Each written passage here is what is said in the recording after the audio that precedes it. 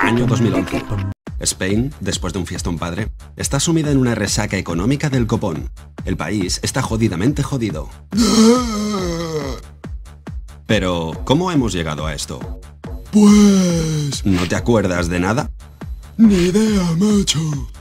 Te voy a refrescar la memoria. A esta historia la llamo...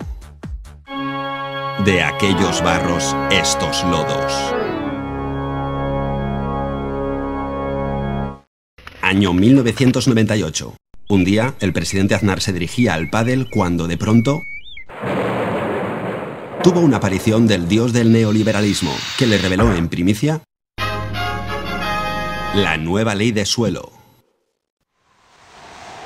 Esta ley proponía privatizar el mercado del suelo y fue copiada con entusiasmo por ayuntamientos y autonomías de todo signo político. Su fórmula era simple. Si aumentamos el terreno urbanizable y convertimos el mercado del suelo en un negocio superrentable para los empresarios, se multiplicarán las inversiones, se construirán más casas y, como habrá más oferta, bajarán los precios y los jóvenes podrán por fin comprarse una vivienda. Y así fue. Se hizo realidad el Spanish Dream y todos fuimos felices en el país de la gominola.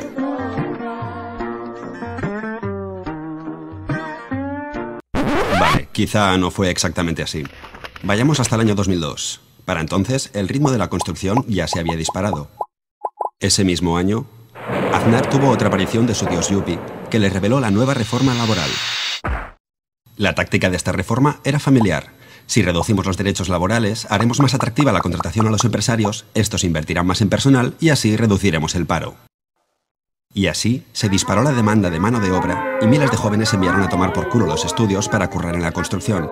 Otro tanto hicieron otros miles que llegaron desde el extranjero. Y todos ellos se apuntaron felizmente al dogma del Spanish Way of Life. Comprar casa. La vivienda estaba de moda.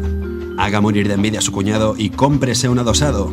No sea un vulgar hippie que vive de alquiler y desgrábese una pasta en impuestos invirtiendo en ladrillo. ¿Problemas para declarar su dinero negro? Don't worry, la vivienda le blanqueará su fortuna. Lo curioso es que la ley de suelo no tuvo el efecto previsto. Al dispararse la demanda de vivienda, el precio de los pisos subió, y eso, a su vez, disparó el precio del suelo, pues se tasaba en función de los beneficios potenciales, cosa que hinchó aún más el precio final de la vivienda. No cabe decir que este margen de beneficios atrajo a miles y miles de simpáticos especuladores. Resultado, el precio de la vivienda se disparó en solo cuatro años. Si vamos hasta el 2005, la burbuja ya estaba desatada y España construía en un año más vivienda que Francia, Alemania e Italia juntas. Veamos, a esta playa le falta vidilla. Así está mejor. ¿Y este idílico bosque? ¡Oh, qué bonita ardilla! A tomar por culo las ardillas. Y bienvenido el progreso.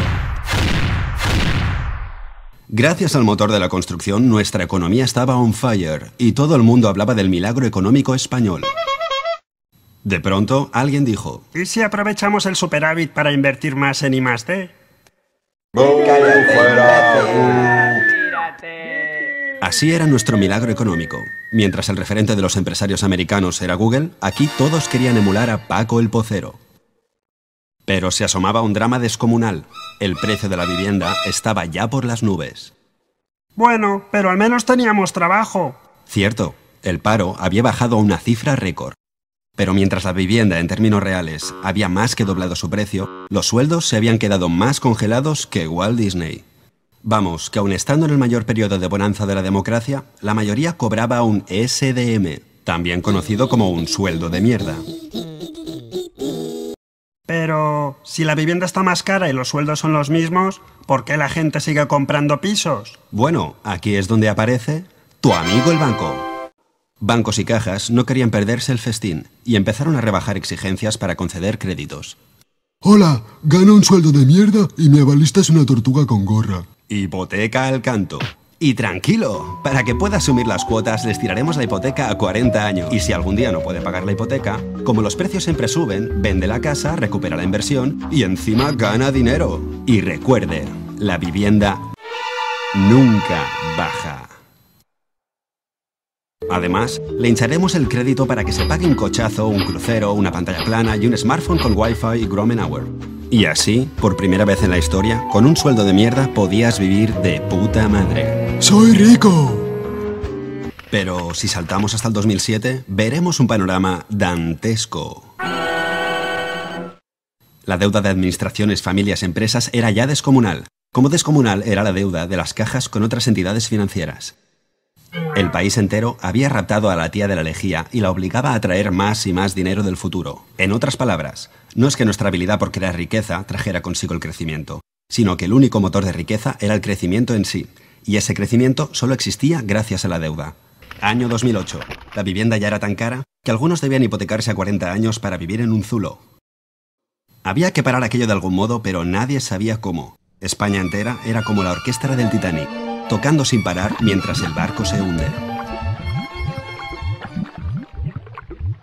Hasta que al fin estalló una crisis crediticia en Estados Unidos que se contagió rápidamente por todo el mundo y, de la noche a la mañana, los bancos dejaron de prestar dinero, los inversores dejaron de comprar deuda y el pánico se desató. Como nadie prestaba dinero, se produjo un efecto dominó. El consumo se desplomó, se contrajo la economía, las empresas empezaron a hacer despidos en masa y las familias sin trabajo fueron expulsadas de sus casas por impago. Sin darnos cuenta, habíamos llegado a ese futuro al que habíamos estado robando el dinero. Y descubrimos, de pronto, que éramos pobres. Y lo que es peor, que nunca habíamos dejado de serlo. Y que quizá esto ya no era España, sino Españistán.